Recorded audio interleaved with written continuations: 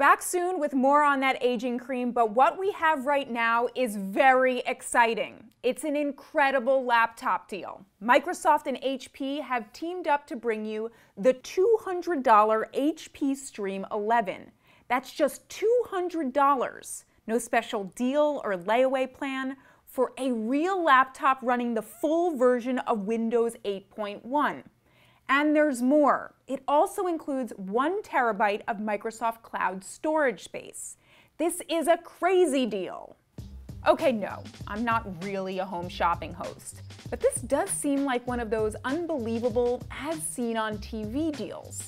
For years, I reviewed ultra cheap Windows netbooks, but those were toys compared to the Stream, which was built to destroy the Google Chromebook. That's why I put the Stream up against Acer's $200 Chromebook 11. They both have similar specs, an 11.6-inch 1366 by 768 display, an Intel Celeron processor, and 2 gigabytes of RAM. The Stream may be thicker and heavier than the Acer, but the build of the system is nicer. The keyboard is comfortable and doesn't cave when I type, and the trackpad is surprisingly usable. Now, if I was actually a home shopping host, this is where I'd lie to you and tell you the colorful design of this laptop is just so fun and so hip. But that's not true, unless you're into polka dots all over your keyboard frame. But you may forgive the childlike design when you hear that the battery lasted seven hours. Now we've got Mark on the line from Maine. Mark, what made you purchase the HP Stream today? Hey, Joanna, good to be on. Well, I've been wanting to work on my PowerPoint slides without an internet connection. Mark, that's a great point. Unlike Chrome OS, you get the full power of Windows and Microsoft Office, whether or not you have a Wi Fi connection.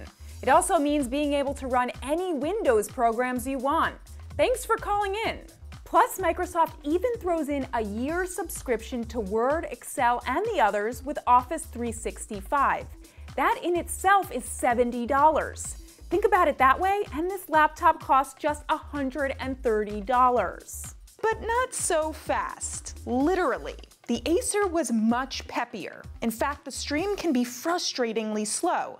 Microsoft Word and other apps ran fine, but Internet Explorer buckled under the pressure of seven or more tabs. Go for a $500 laptop with an i3 or i5 processor, and you'll avoid this. Just wake me when you decide to load. In case you're just tuning in, the HP Stream 11 is quite a deal, though not what I'd call a Chromebook killer. If you want a $200 computer to solely surf the web, the Acer is a better performer. But if you want a $200 computer to do more than that, especially when you're offline, and it also to have the full power of Office, then there's now a modern day netbook for you. Coming up after this, a great deal on a mouse made out of tanzanite.